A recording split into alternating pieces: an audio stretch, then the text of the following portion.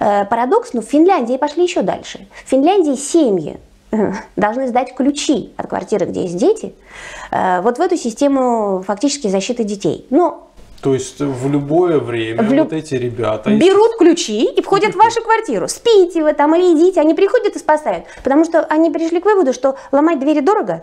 Ну, родители баррикадируются, ну зачем? Такой ущерб все равно же... Кстати, если у вас отбирают детей, то в Финляндии это имущественная потеря настолько для семьи, что вы, ребенок считается, на него делится имущество, поэтому вы должны сдать дом, квартиру, это все делится на всех. То есть у вас забирают ребенка с имуществом.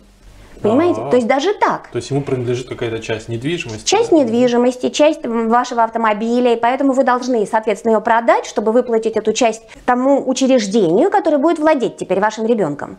То есть получается, что э, понятно, что и от частных лиц, от, от нас они хотят нажиться. Мало того, э, во многих странах Европы э, родители должны платить алименты своему ребенку, но фактически не всегда это частная семья, э, как забирает другая семья. Иногда это детский дом, иногда это психиатрическая лечебница, иногда это... И вы платите деньги за содержание вашего ребенка еще.